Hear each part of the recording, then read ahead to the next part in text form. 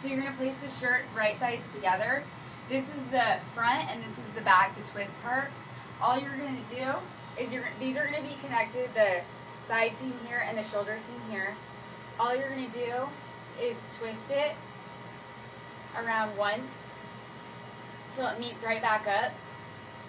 And then that's it. That was just one twist. So you twisted it and then you're gonna connect the shoulder seam and you can just pin it so that you just know that that's where you need to sew.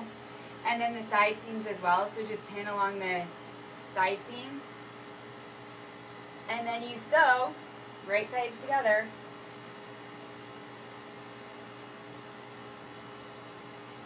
And then just sew them. You know, leave the opening right here for the sleeve or for your armhole, and then that's it.